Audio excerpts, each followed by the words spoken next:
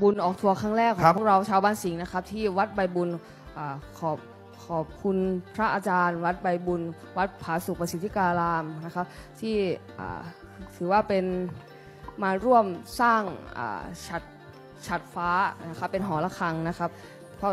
ที่ที่จริงเราถวายห้องน้ำไปแล้วนะครับ ครับ แล้วก็เราจะถวายกุฏิอีก แล้วก็จะมีถวายหอระฆังเมื่อเสร็จสมบูรณ์เรียบร้อยแล้วนะครับ เราจะทำการถวายอีกหนึ่งรอบ ก็อนุโมทนาบุญทุกๆ คนเลยนะครับ ขอให้ทุกคนมีแต่ความสุขนะครับ พลังแห่งบุญครั้งนี้ ขอให้ทุกคนประสบแต่ความสุขความเจริญนะครับ สุขภาพร่างกายแข็งแรงนะครับ ก็ขอให้ทุกคนมีแต่ความสุขมากๆครับ